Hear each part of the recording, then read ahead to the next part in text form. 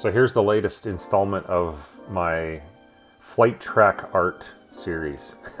I guess you call it flight track art, I don't know. Uh, this one is a light bulb. Uh, this one was considerably easier than the first one I did. I did the Peep uh, Frog. Uh, it was a great, great drawing, but a lot of detail, and it, it was my first one, uh, or my first real attempt at it, and probably was a, kind of a uh, overly ambitious decision to do for the first one, but managed to pull it off. Wanted to do something a little bit easier on this one and did the light bulb.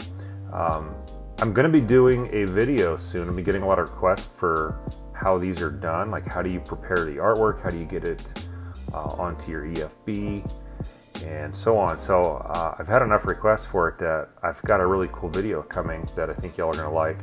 I'm going to kind of show you how it's done, and uh, yeah, it should be pretty cool. Anyhow, uh, here we go. This was 42 miles. It took about uh, 30 some minutes to complete, and I think it turned out uh, really good. Pretty happy with it.